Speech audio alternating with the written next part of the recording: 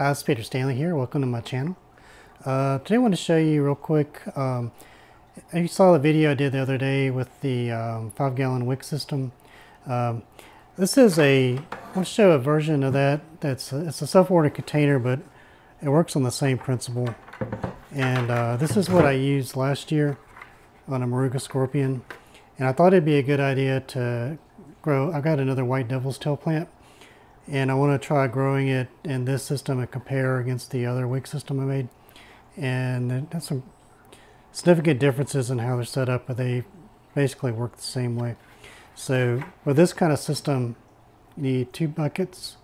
Um, and these work just like the uh, earth boxes you may have seen. Um, it's really cheap.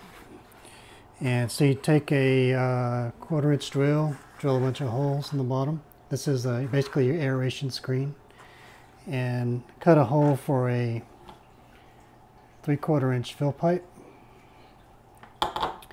And this is a three inch hole, excuse me, that I cut with a three inch hole saw. And the only other thing you need is a three inch net pot. And this will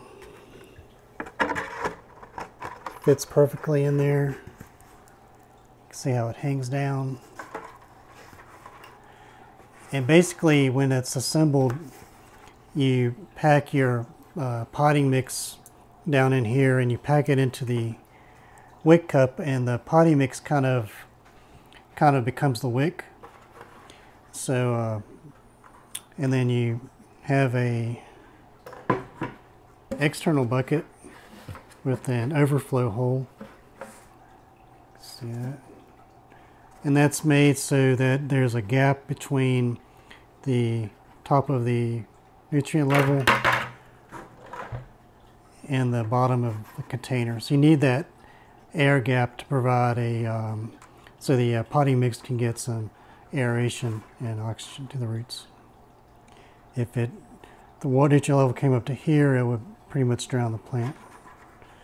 So, um, so then when it's assembled, don't really need a lid, but I use it. Just kind of helps keep stuff out.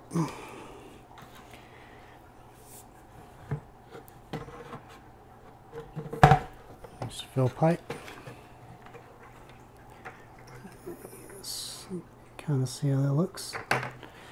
And you put your set your plant up, plant it like you would anything else potting mix. It doesn't have to be fertilized potting mix because you're going to use hydroponic nutrients. Alternately, you could use like a slow release fertilizer and just put water in the reservoir, but I like to just use hydroponic nutrients. And I'll be using the Master Blend, same that I'm using on the other wick system. So um, the uh, plant is this other white devil's tail. And it's actually in a small wick system now. I'm not really sure the best way to get all this out of there, but um, so that's going to go into here. So it'll be like that.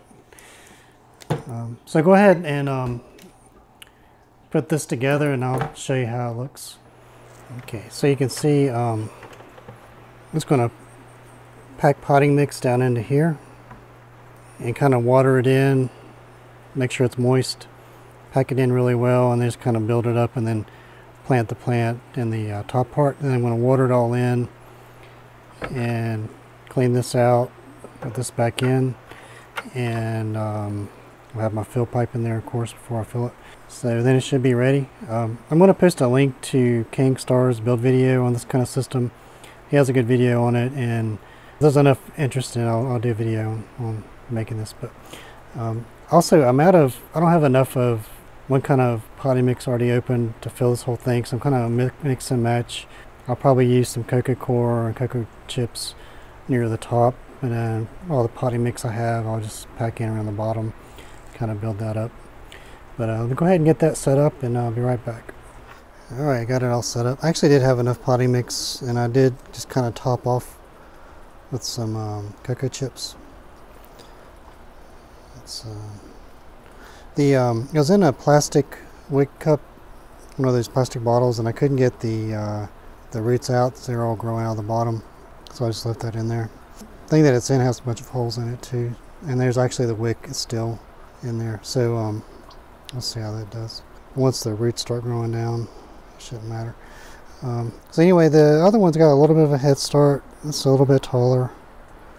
Um, this one is actually kind of recessed, so it's a little, it's a little taller than what it looks like here. But um, anyway, I'm just going to grow them side by side. They're about the same age, uh, from the same seed stock, both white devil's tail from um, Jesus Rosario. And uh, once they get a little bit bigger, I'll probably move them outside on the porch. Once it looks like it's going to stay kind of warm.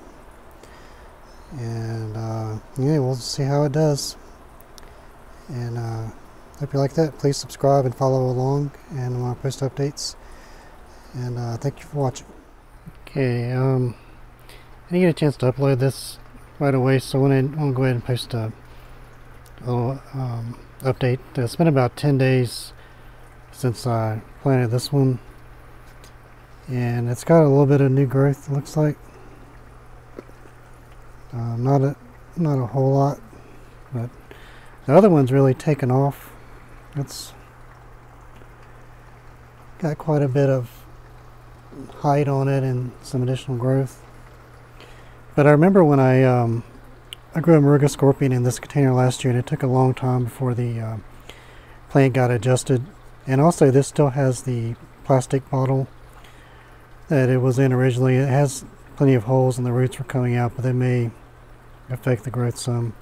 But um, I can't really make a judgment uh, comparing the two either until they uh, they're able to grow some more. Um, so probably going to put them outside pretty soon. They've been under the um, 400 watt light, so it's kind of pre-hardens them off pretty well. So I'll go ahead and put them out on the porch probably sometime this week, and I'll move something else over here.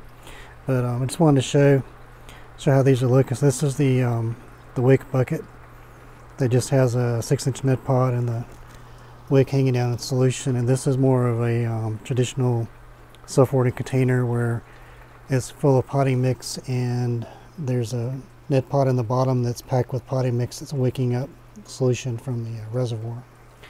So I want to compare these two, see how they do. Anyway, um, hope you like that. Thank you for watching and please like, comment, and subscribe.